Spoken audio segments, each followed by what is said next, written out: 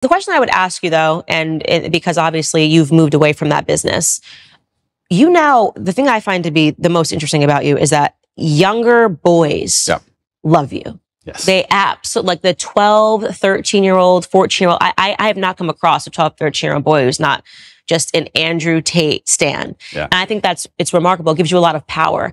And I think this is perhaps the interest that a lot of people have in you is what are you going to do with this power, right? You have Yeah. all these boys, they believe in you, they stand up for you.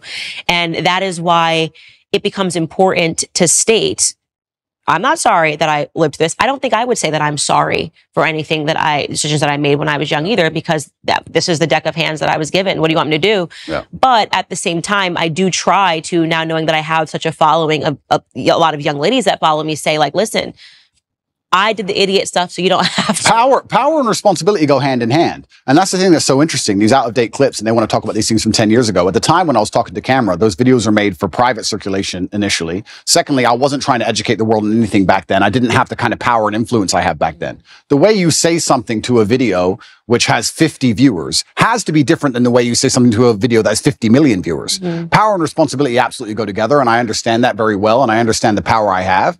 And I do believe I'm now an absolute force for good in the world. And I'm far more careful with how I'll project myself with certain ideas. Absolutely agree completely.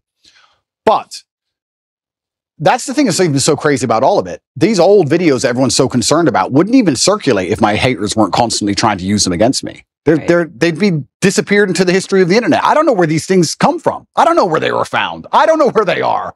It's kind of crazy. A lot of people are making all these constant attacks on me and I don't watch a lot of it. I'll have to be honest with you, Candace. I don't watch all of it, but a lot of the videos are so outdated. The only reason they even exist now is because my haters are so desperate trying to take me down. They don't have any concern for them being seen because they wouldn't be cir- circulating them otherwise. Mm.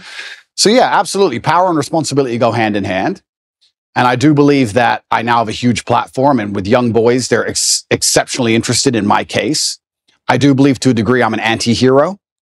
I do believe to a degree that the harder I'm attacked, the more credibility is given to me in the eyes of my fans. I think that they see, ah, everyone's out to get this guy. Everyone was out to get Batman. This kind of feels that way.